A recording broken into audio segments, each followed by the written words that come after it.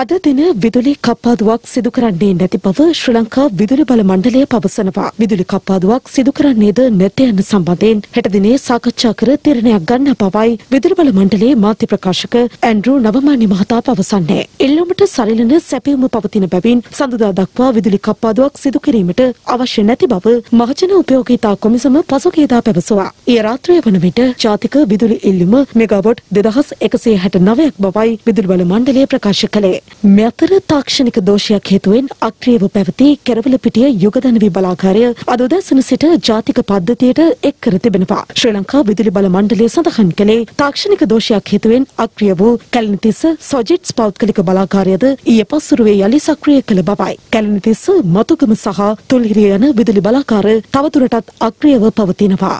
මේ අතර විදුලිය පාවිච්චි කරන්නන්ගේ සංගමය අද මාධ්‍ය හමුවක් ඇඳවා තිබුණා. විදුලි ඉංජිනේරු සංගමය කරන්නේ එදා ඉඳලා බලාගාර තුනක් මත යැපෙන්නේ. ඒ සැඹිලිපිටිය, ඒ ස්මාතර, ඒ සපුගස්කන්ධ මේ කියන බලාගාරත් එක්ක යැපෙන්න හැදෙන. දැන් බලන්න ඊයේ ඉරිදා දිනේ. ඊයේ ඉරිදා දිනේ විදුලිය විසන්ද වීම සිදු වුණා. දැන් මේ හදිසි විදුලිය මිලදී ගන්න තැත් කරා, සාකච්ඡා කරා මේ පොඩි වැස්සත් එක්ක.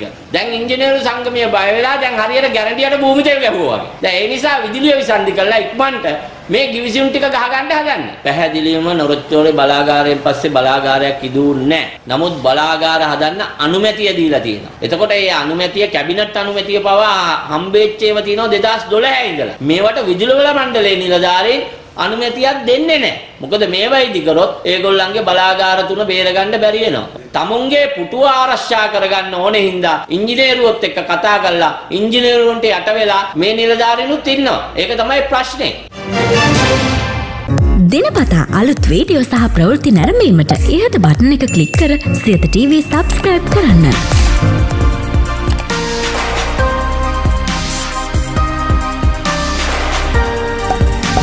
වීඩියෝ ගැන මුලින්ම දැනගන්න මෙම සීනුව ක්ලික් කරන්න.